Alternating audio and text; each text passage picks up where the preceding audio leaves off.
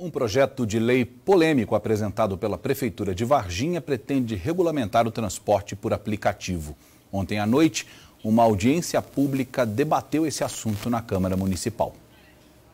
É presidente dos motoristas de aplicativo em Varginha e está inconformado com o um projeto de lei que pretende regulamentar o serviço na cidade. Uma das exigências do projeto, que foi apresentado pela Prefeitura, é que os motoristas façam um curso de transporte coletivo. Para o presidente, isso é um gasto desnecessário. Sendo que hoje na cidade nós sabemos que muitos taxistas não, não têm esse curso. É, o segundo ponto importante também é que estão exigindo para todos os motoristas de aplicativo é, o atestado físico de sanidade física e mental. Isso é, é um absurdo para a gente que, que trabalha no ramo. Outra reclamação é que se o projeto for aprovado, os motoristas não vão poder ficar em locais de aglomeração de pessoas em áreas públicas.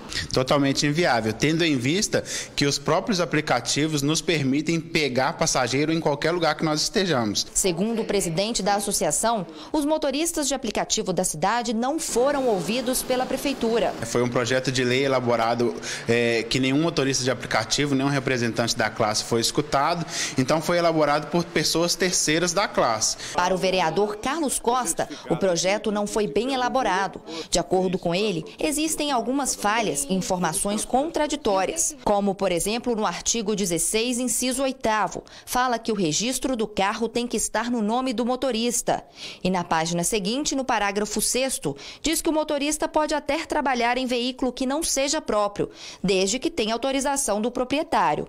O projeto tem, inclusive, até cláusulas que são repetidas tá? parágrafos repetidos. Então, um projeto de lei que, infelizmente, foi feito, talvez, para atender os sindicatos motoristas, taxistas e etc., mas que não foi bem elaborado e viria a prejudicar demais os motoristas aplicativos. Para debater o assunto, uma audiência pública foi marcada. Na audiência pública que aconteceu aqui na Câmara, os motoristas trouxeram sugestões de mudanças no projeto de lei apresentado pela Prefeitura. Após as alterações, o Departamento Jurídico da da Câmara vai analisar. Em seguida, elas vão ser encaminhadas para a Comissão de Justiça. Se forem aprovadas, o projeto será votado, mas ainda não tem prazo para isso acontecer. Em sendo aprovado, o seu prefeito tem que fazer a sanção ou então vetar o projeto.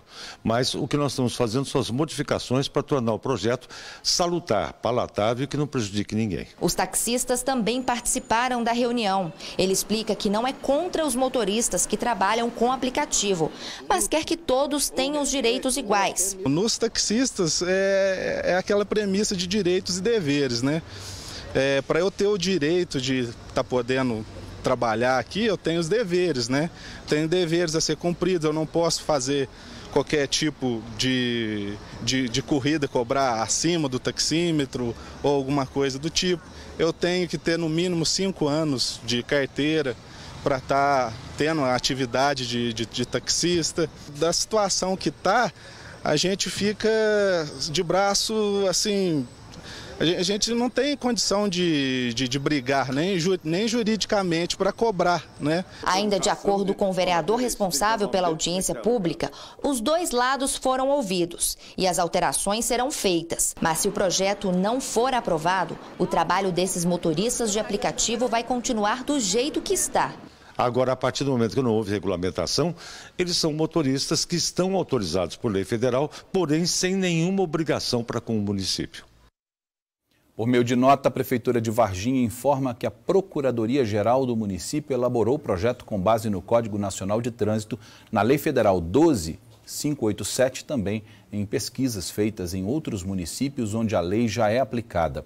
A nota diz também que, em caso de falha, a Câmara Municipal de Varginha tem competência para fazer as correções necessárias.